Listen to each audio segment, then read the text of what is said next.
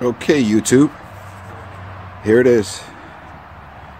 The 1966 Ford Galaxy. It's been with me for about two months. I've done a couple things to it. See, it has the uh, Thunderbolt hood. I don't believe they made a Thunderbolt Galaxy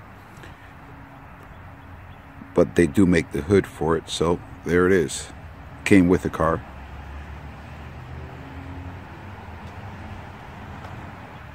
It's flat black. I'm not sure if that's primer. That's the way the car came. It's got American racing wheels on it 15 inch. Some Cooper tires.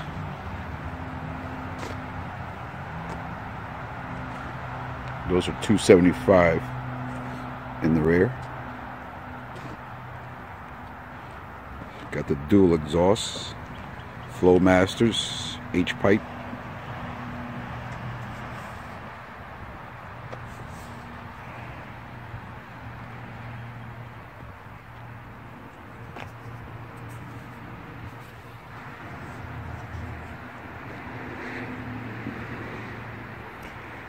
I say she has a pretty good stance. It's all stock suspension. It's got drum brakes all the way around. They're a little scary.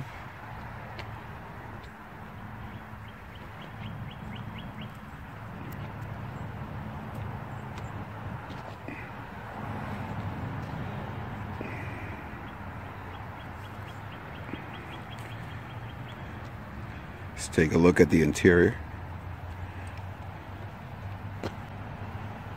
Bench seat.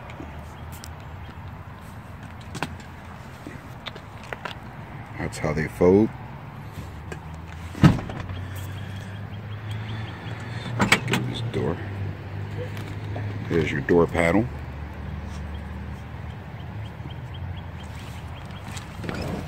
And here's the cluster. These are the uh, vinyl white gauges overlay.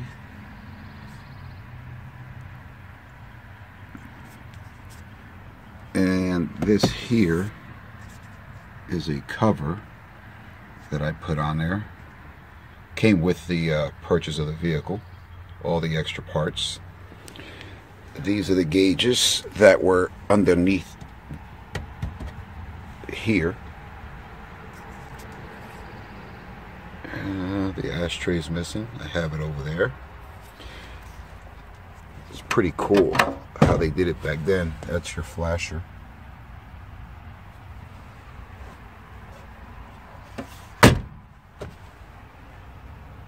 Galaxy 500.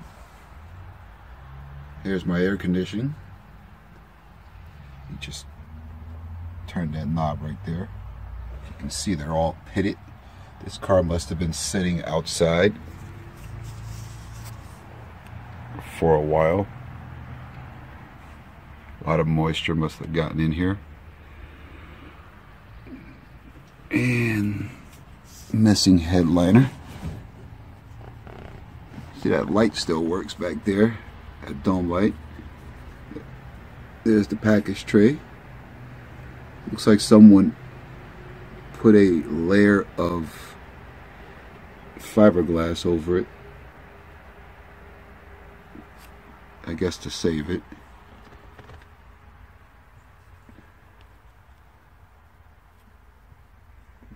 Those are in pretty good shape. And that one's not so bad. It's missing the uh, armrests. And there's the carpet. I don't know, could be original. Maybe. It does need a little patch work here and a little on that side. Not much though. Well, this is the plan. I'm going to remove this, install the ones that I refurbed. I'm going to remove this piece here. See if you notice it's blocking the the light in there for the illumination. So this way I can get it to shine a little brighter. It's reading 77,000 miles. Don't know if that's original. Probably not. That's the tach that came with it.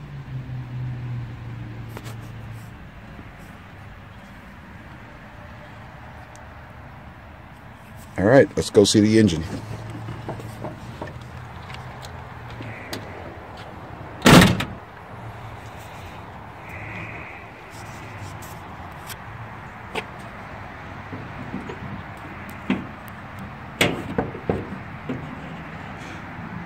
Okay, I'm going to need two hands for this.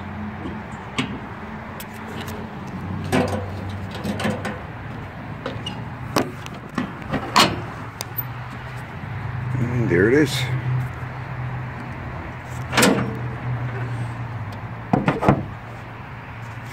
your 351 Windsor. It does have its factory transmission. They call it the Cruise-O-Matic. Optima battery. This will be changed soon. This is more for stereo systems. I don't know what the guy was thinking.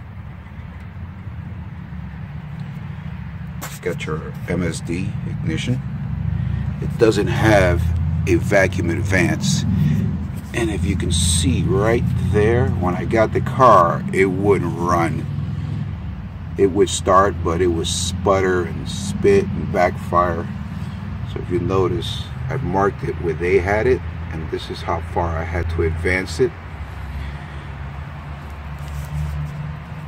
I have it set to start almost at 20 degrees. And then the uh, centrifugal advance take over when I rev for a total of 36 I believe. Who knows? Could be higher. But she runs great. She used to overheat a lot wouldn't run straight I also experienced some vapor lock I had to put this fuel line in here reroute it it used to come from under here and run this way along here and then I added that 3 8 spacer, aluminum spacer there. Keep the heat away from the carb. That's an Edelbrock 500 CFM.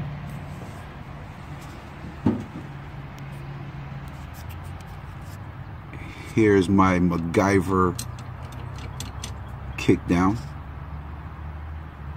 Got that to work. That wasn't connected. This was tied off to the firewall. It's got some Hedman headers.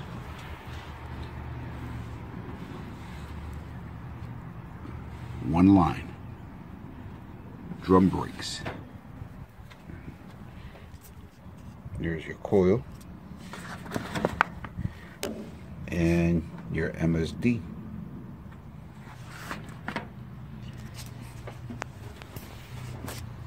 Here's the relay for the fan got that wired up. That wasn't working. There's your electric fan.